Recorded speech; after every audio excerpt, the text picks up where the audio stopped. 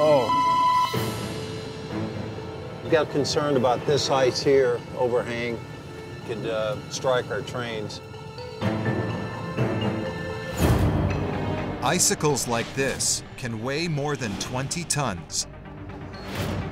If they break free, they can smash into a passing train and derail it. Here we go. They're too high for excavators to reach. The solution? Shoot them down. Well, that's a big chunk of ice. Yeah, that thing's, that thing's massive. I think you need a rocket launcher. That'd definitely do some damage to a train or a high rail. Oh, yeah. And let's just throw one round in it and see what it does. This is a 4570 rifle, and I'm thinking this might be the ticket. Let's see how good a shot you are.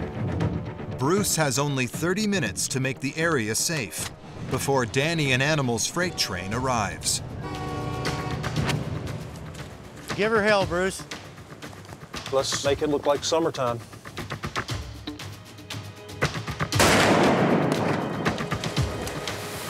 That's a tough one. Yeah. It's fairly thick ice. Yeah, I think you got your work cut out for you on that one. One more good one. I'm gonna try to just cut a little line across it. I think it's pretty solid. It might be too thick. I think you might get it on this one. The train's getting close.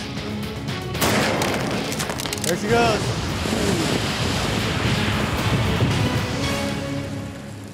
Good shooting, Bruce. The track is now completely blocked with huge chunks of ice.